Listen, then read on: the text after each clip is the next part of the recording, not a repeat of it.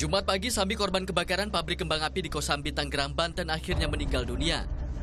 Korban dengan luka bakar 80% ini hembuskan nafas terakhirnya setelah 9 hari jalani perawatan di ICU RSUD Tangerang. Jumlah korban tewas akibat kebakaran pabrik kembang api yang terjadi Kamis pekan lalu kini mencapai 51 orang. Sementara tujuh korban luka masih dirawat di RSUD Tangerang.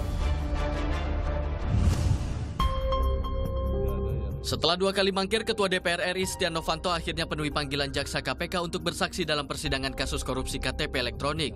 Dalam sidang yang digelar di Pengadilan Tipikor Jakarta Pusat Jumat siang, Setnov kerap menjawab lupa ketika ditanya hakim. Setnov hadir didampingi Sekjen Partai Golkar Idrus Marham. Sudah lebih dari 200 hari, kasus teror Novel Baswedan masih belum terungkap. Tagi perkembangan kasusnya, Presiden Joko Widodo akan kembali panggil Kapolri Jenderal Tito Karnavian.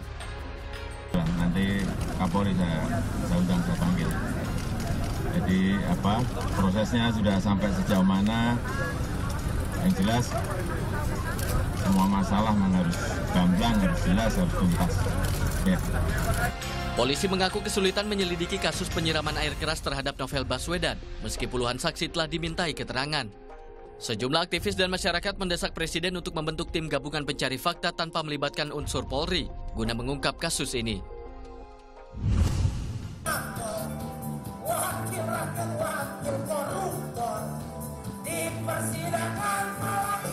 Sementara itu Jumat malam KPK menggelar lomba lagu bertema anti korupsi sebagai upaya pencegahan korupsi melalui karya seni. Bertajuk konser Suara Anti Korupsi 2017, acara dihelat di Plaza Festival Jakarta Selatan dengan salah satu pimpinan KPK Saud Situmorang sebagai juri dalam konser ini.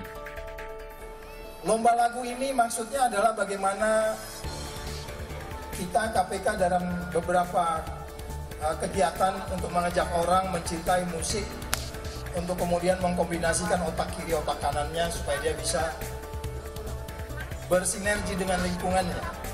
Anti korupsi tidak hanya harus teriak di pinggir jalan. Sebagai juara satu adalah band Uniku asal Mojokerto dengan lagu berjudul Semangat Pancasila. Semangatnya untuk menyadarkan para koruptor yang mereka nilai sebagai orang tersesat.